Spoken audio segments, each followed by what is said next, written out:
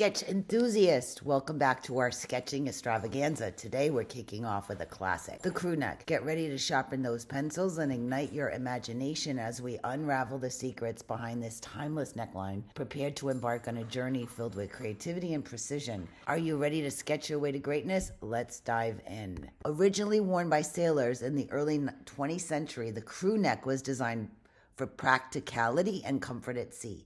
Its rounded neckline allowed for ease in movement while providing warmth in chilly maritime conditions. Over time, the crew neck transitioned from naval uniforms to everyday staple.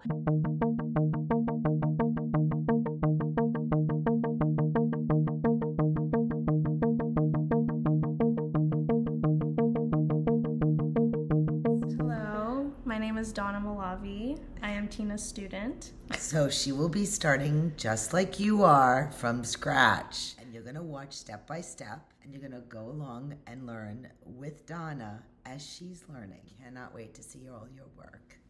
For your next lesson, which is technical sketches. The 3T rule is basically turning your body into the T shape. It's your center front and center back line. That's your T. Now this here is that horizontal line.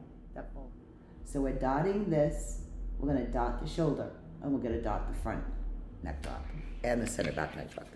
All right. And you have a shoulder slope. See how your shoulders are not square like a box?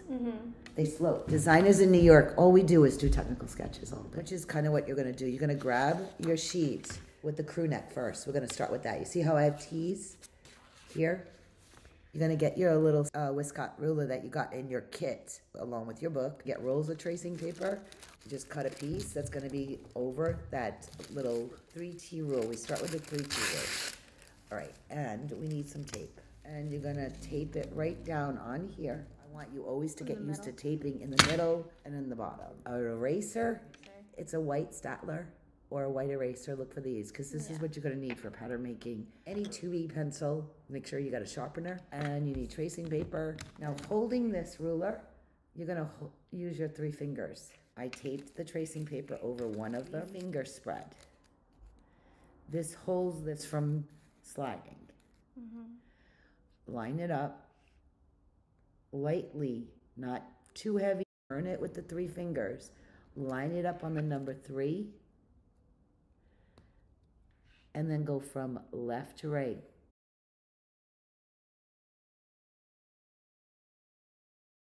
Trace this. You see how light my T is?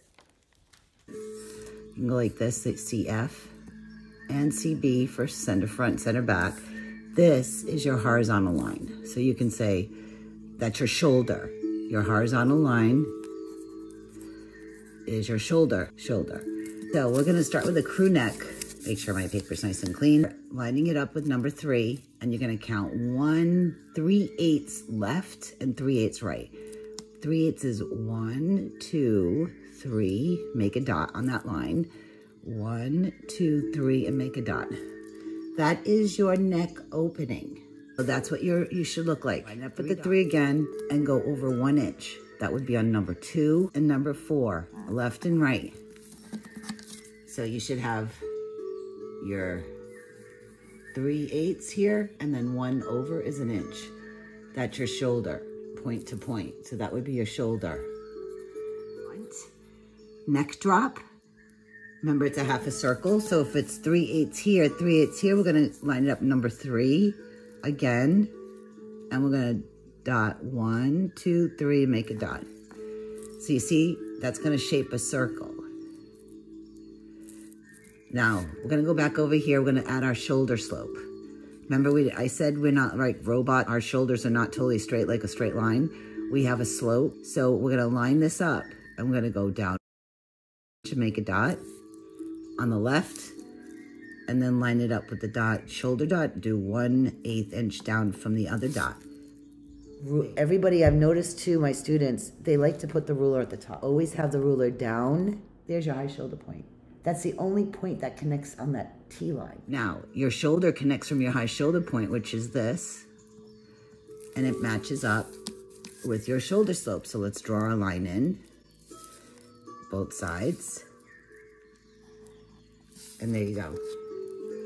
I'm gonna make a circle because a crew neck is a circle. I'm gonna do a light one on this side. I'm gonna do another one on this side. Now, I like that side better. Whatever side better you like, you erase the it. other side. I erased this side because I didn't like that side, but I do like this curve better. So then off, you fold it on the center front line by grabbing the end here, then press toward the middle. And you'll get it folded perfectly. Now, I like this side better. I'm gonna trace it on the other side. So you see, I traced the good side to the other side. Blend it in. We also have, this is your center front neck drop, but we also have a center back neck drop. Your, your neck, your clothing is not straight across, is it? No. So it's got a curve. Your center back, you're gonna tape it back on there, line it up, make sure it's all lined up. I'm gonna do my center back neck drop, which is about one eighth. Remember we talked about how the back is, is higher than the front? And I'm gonna do the same thing. I'm gonna draw one curve here, one curve here, and that one doesn't look good. I like that one better. I'm gonna fold it of the other side and blend it. Crew neck has a rib trim. So in order to get the rib trim, this is also what I do for pattern making. Grab your ruler like this with your pointy finger. You're gonna be using this a lot like this for adding seam allowance and everything. I want this exactly the same, so I'm gonna line up my eighth inch on the curve. Tiny little straight lines. You're gonna also draw in tiny little straight lines. And I slowly bring and follow this curve on your eighth inch and do it little by little, just like when you sewed circles. Circles are made of tiny little straight lines. So if you're gonna go around and make a crew neck or a band or anything around a neck, you wanna keep it the same. So I'm gonna slowly guide my ruler, keep the one eighth on this curve, and slowly move my way around to draw the perfect curve. See that? just draw that, like just. No, not freehand. You'll never get it perfect like that. And again, you can turn around and fold it. And as a designer, that's what you do. In the mm-hmm. industry, you're always doing technical sketches. Mm-hmm. Fine. So when you send it off to a factory on a spec sheet, which of course you're gonna download the spec sheet, that technical sketch will go here. So you just want to get that one technical design as perfect as possible, so then whenever you send it to the factory, they know exactly what to do, and then they can make replicas of it. That's right. But if you need to, just smooth it out. Mine had a little jagged edges, right? Now you also have a, a center back neck trim. It's not just the front, right? You want to do the same thing here on the back neck with your ruler. So you see, I have now the center back trim there. How do you tell the difference between the back and the, and the front? You said this is the back part, correct? Your back neck drop. So well, how- because it's higher than the front. That's the center back neck drop. Because when you put a t-shirt flat down on the table, you're gonna see the back and then you're gonna see the front neck drop. Oh, I see what you're saying. But then what is this piece right here? That's your top of your front neck trim. You have a t-shirt in your closet? Because I like the fact that you're asking me these questions because I'm sure that you guys at home are going to be asking the same. That's why it's great to have Donna here because these are the questions I won't, I won't know if you're going to be like, what's this? What's that? All right, so she's asking me, what is this line here now? That was your center front neck drop. You see the difference between, see the lines? This is a rib trim. Mm-hmm. This is not the same fabric as this. This is jersey. It's mm-hmm. flat, but you can see the rib. Well, I was asking more about like this line that goes in the middle right Well, there. here. Oh, okay. So So you just drew, back. yeah, this is the top, the bottom of the rib. See how you can see it?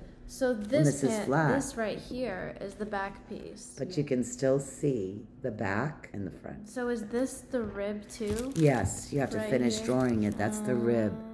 But that's good because I automatically just take it for granted. I mean, I'm learning how to draw technical sketches from you. I didn't draw it technically before, but when I draw my designs, I always label them. you can identify that that is actually a technical sketch of a rib Yes. trim t-shirt. Yeah, cool.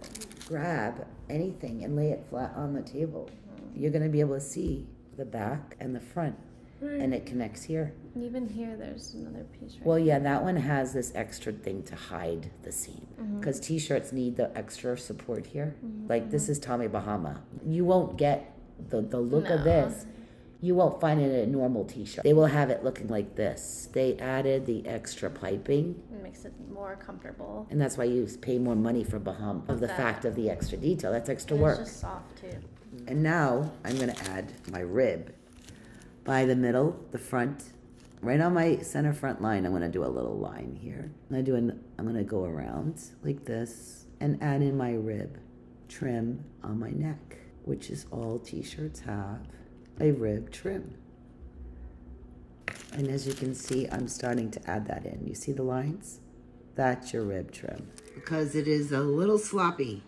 So what you do is you take now your thin Sharpie. I have one with both ends. And now you go over it and make sure it's nice and clean and want flowing. You got to go over the lines that you know you want and then connect and connect. You want your shoulder dot to dot. You want a nice clean curve because what you're going to do is you're going to erase all your pencil lines. Try to keep them as even as possible. And again, that straight line should be straight down. You can always start this way and go the other way around. Start middle, work your way. Remember, it gets a little, it's not dry yet, so try to take it slow. I'm doing it a little quicker than normal, just to show you. That's the crew neck. And then what you're gonna do is blow on it, let it dry, and then erase all the pencil lines, including center front line. What I do is I go back in with the next level up Sharpie, and I go like this very carefully around here to clean it up.